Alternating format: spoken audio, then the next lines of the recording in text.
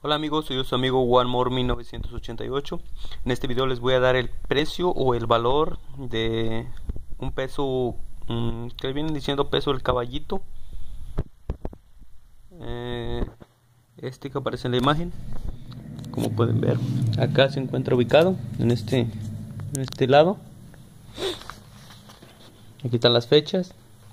Eh, muchos de los que ya saben de numismática saben que el más cotizado es el de 1911 con los rayos cortos en el reverso.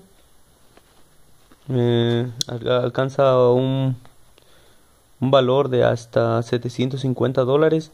Eh, estos son precios bases, también no quiero que se vayan a dejar por el precio que aparece. En veces se venden más caros, en veces se venden un poquito más baratos, pero pues este es un precio base eh, los demás, como pueden ver, ahí están.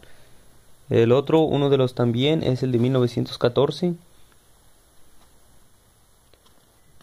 Ese comienza en 300 y alcanza un valor hasta de 4000. Pero este es un que le dicen low mintage, que se hicieron poquitas monedas, solo se hicieron 120 mil piezas. Esos son los más cotizados. Eh, los más buscados es este, es el que tiene los rayos cortos. Y pues claro este, pero pues como eh, son muy pocos en el mundo, eh, es más difícil de encontrar. Así es que pues espero les ayude la información que les doy. Si tienen alguna duda, alguna pregunta, por favor háganmela saber, comenten, califiquen y lo más importante de todo, suscríbanse.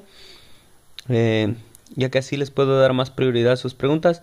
Y pues muy feliz, gracias, nos vemos en el próximo video.